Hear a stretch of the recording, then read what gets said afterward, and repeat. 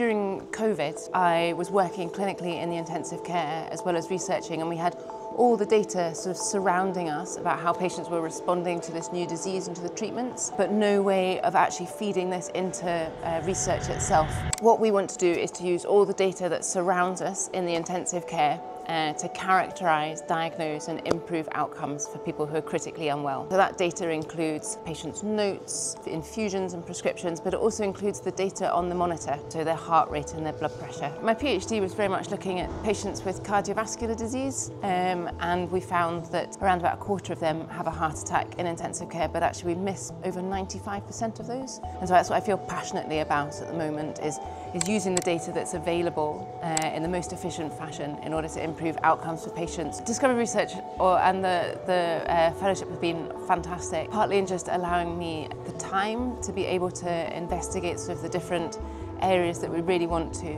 They've allowed me to build um, a really fantastic team who can help with all the different aspects of, of where we're going.